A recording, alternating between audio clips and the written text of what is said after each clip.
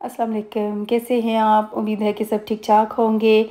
सुबह का टाइम है, नाश्ता बन रहा है आलू के पराठे। मेरे हस्बैंड जॉब पे जाने वाले हैं तो उनके लिए बना रही हूँ। एक साथ लेके जाएँगे और एक अभी खा लेंगे। ये दोनों साथ ले जाएँगे। बारिश हो रही है बाहर, मौसम फिर से ठंडा हो गया है और यहाँ यूके का जो मौसम है, उसका कोई एतबार नहीं, पल में कुछ, पल में कुछ। दो दिन काफ़ी हीट वेव थी, लेकिन अब मौसम जाके फिर से थोड़ा सा ठंडा हो गया और बारिशें हो रही हैं तब से। तो अगर आप लोगों को वीडियो अच्छी लगी लाइक ज़रूर कीजिएगा। कमेंट्स करके बताइएगा वीडियो कैसी लगी। इसके अलावा अगर किसी ने मेरा फेसबुक पेज फॉलो लाइक नहीं किया हुआ तो लिंक डिस्क्रिप्शन बॉक्स में मिल जाएगा। फॉलो लाइक कर लीजिएगा। तो ये पराठा बहुत मज़ेदार सा क्रिस्पी सा पराठा। एक सिस्टर ने मुझे कमेंट्स किया था कि आप पराठे अच्छे नहीं बनाती हैं, क्योंकि पराठे पका के खोलता कौन है उसको?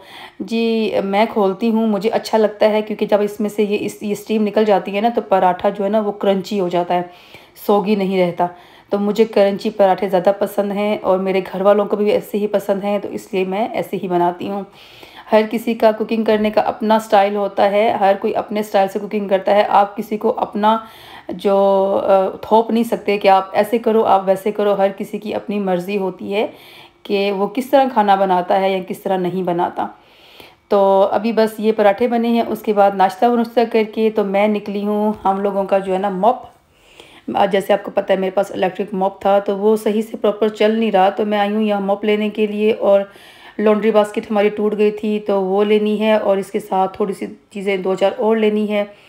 तो मैं देख रही थी यहाँ कौन सा मॉप लूँ, कौन सा वाला सबसे अच्छा रहेगा, कौन सा नहीं। तो मुझे कोई इलेक्ट्रिक मॉप नहीं लेना था क्योंकि ये बहुत ज़्यादा मुसीबत डालते हैं, बहुत जल्दी ख़राब हो जाते हैं। तो मैं सोच रही थी कोई मैनुअल ही मिल जाए तो अच्छा है। तो वो मैं देख रही थी कहाँ से लूँ। पाउंड शॉप भी मैंने देखा है एक और उसके बाद दो चार शॉप्स में और देखा है। तो मैं देखती हूँ कि मैं कहाँ से लेती हूँ और कौन सा लेती हूँ। जो मुझे अच्छा रिजनेबल रिजनेबल प्राइस में मिल गया मैं वो ले लूँगी। उसके बाद फिर मैं जो है ना तीन चार डिफरेंट डिफरेंट स्टोर्स में गई।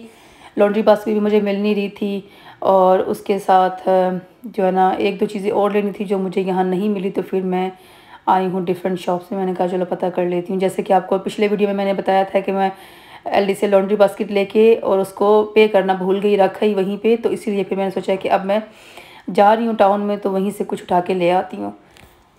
तो बस अब यहाँ आई हूँ और यार डिनर सेट लेना है।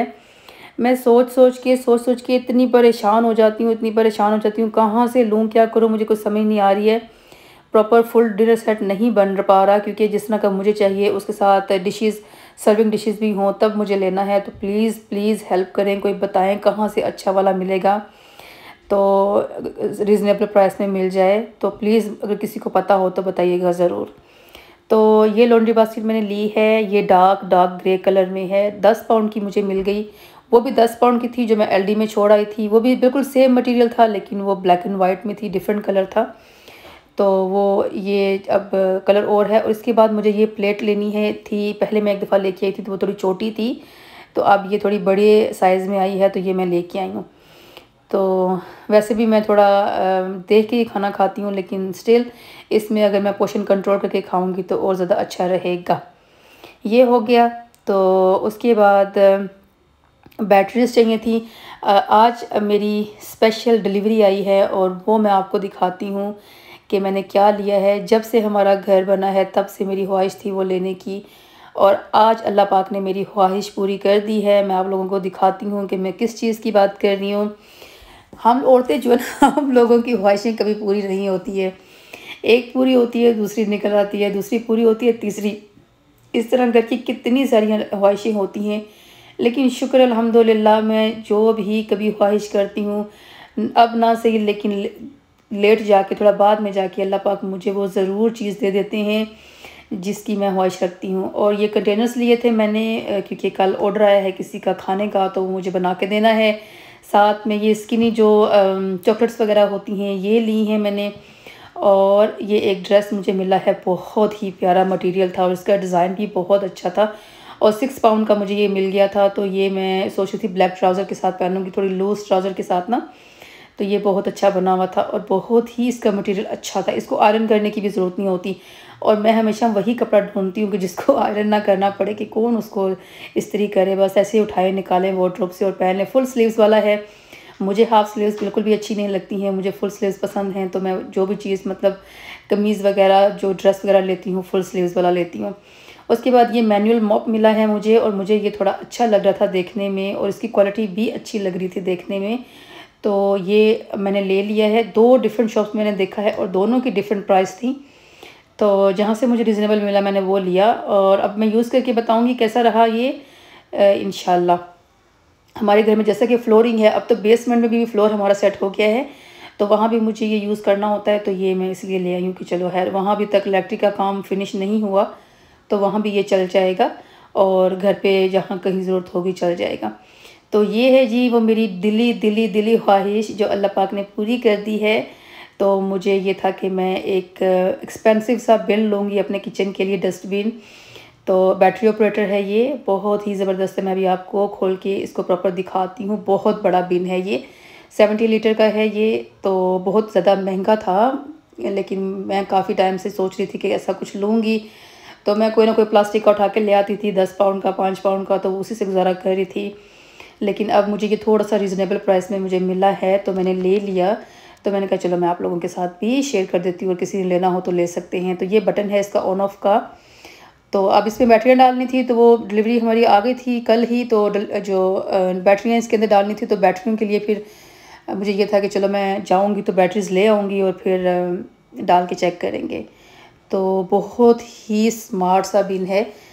मेरे किचन के लिए बहुत अच्छा मेरे किचन के साथ मैच कर रहा है कलर उसका ग्रे टाइप तो अभी बस इसको खोलने की कोशिश करेंगे। बैटरी कहाँ डालेंगे तो खुल नहीं रहा था। हम लोगों से, हम लोग लड़ रहे थे कि कैसे इसको खोलें, क्या करें। बस वही चेक कर रहे हैं। तो बाहर इतनी शदीद बारिश हो रही है, अभी इतनी तेज़ बारिश हो रही है ना। तो अभी मैं वो जो ड्रेस लेके आएँगे, वो भी मैं पहन के आप लोगों को दिखाती हूँ। तो आप लोग बताइएगा कैसा लग रहा है, ठीक है? अभी फ़िलहाल बस मैं जो है ना, इसको सॉर्ट आउट करके फिर आप लोगों को दिखाती हूँ कि ये कैसे ओपन होता है।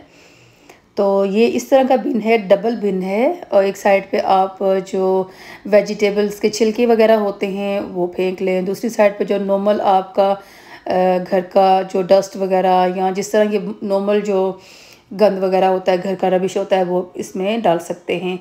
तो इसके बैग इसके बैग नहीं मैं, मेरे पास घर पे नॉर्मल बिन के ब्लैक बैग हैं, वो तो बहुत बड़े हैं इसके लिए। बहरहाल मैं अब जाऊँगी जब तो स्लिम बैग होते हैं इसके लिए तो वो लेके आऊँगी लॉन्ग और स्लिम बैग वो लेके आऊँगी। दो डिफरेंट पार्टीशन हैं इसके अंदर। तो वो मैं देखती हूँ कहाँ से मिलेंगे मुझे। और ये स्टेनलेस स्टील का है और बहुत हैवी है ये। ये प्लास्टिक का नहीं है, बहुत हैवी है ये। तो अभी ये देखें, ये इसका क्लोज़ और ओपन बटन बना हुआ है। तो जब आप इसको क्लोज़ करेंगे, ये अपने आप बंद हो जाएगा। और इसका इसका ये है कि आपके घर में बिन की स्मेल भी नहीं होती है। वैसे तो बेहतर होता है कि आप हर रोज़ के रोज़ बिन चेंज करें, लेकिन सम टाइम आपको नहीं टाइम मिलता और नहीं चेंज कर पाते तो इसलिए फिर ऐसे बिन ठीक रहते हैं जो प्रॉपर बंद रहते हैं, फिर घर में स्मेल नहीं आती है, बिन की।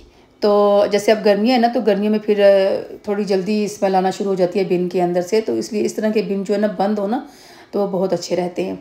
तो अब मैं बस देख रही थी कि काश वो जो अंदर पार्टीशन है वो निकल जाए और एक ही बैग इसमें डालना पड़ जाए, लेकिन वो नहीं हो रहा था तो मैं बस चेक कर रही थी इसको कि ऐसे करके एक ही सेक्शन अगर हम यूज़ कर लें, दूसरे में ना फेंकें, लेकिन बच्चे हैं तो बच्चों को पता नहीं चलना तो उन्होंने दोनों में गंद फेंकना शुरू कर देना है तो वो गंदा हो जाएगा। इसलिए फिर मैं सोच रही थी, अब मैं इसके जो प्रॉपर बैग होते हैं बिन के, वो लेके आऊँगी और फिर मैं उसके साथ इसको सही से सेट करूँगी और डालूँगी तो सही से यूज़ करेंगे हम लोग। आहिस्ता आहिस्ता से हर चीज़ औरत एक बनाती रहती है अपने घर की और हर चीज़ जो आपने लेनी है एकदम से आप नहीं ले सकते। टाइम टाइम टू टाइम आप लोगों ने लेना होता है। हर चीज़ का एक सिलेक्टिव टाइम होता है कि आप कब उसको लेंगे, कब नहीं। तो अभी बस मैं ये इसको बंद किया तो मैं जाती हूँ ड्रेस पहन के आपको दिखाती हूँ।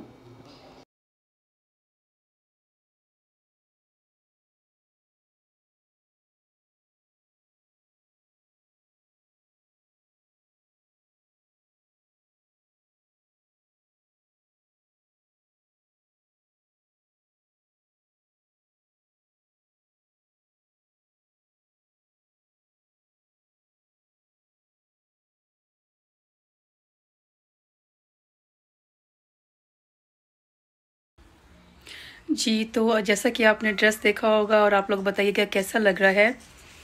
तो अभी बस मैं निकलने लगी हूँ दोबारा। फिर किसी काम से कुछ बिल वगैरह का काम था तो वो मुझे करना है। अभी वहाँ जाती हूँ तो प्लीज़ वीडियो को लाइक कर दीजिएगा अगर किसी को अच्छी लगे तो। और इसके साथ साथ जो है ना, जो पिछली वीडियो हैं, दो मैंने अपलोड की हैं, उस पर लाइक्स बहुत ज़्यादा कम आए हैं तो प्लीज़ आप लाइक्स में कंजूसी मत किया करें लाइक ज़रूर कर दिया करें।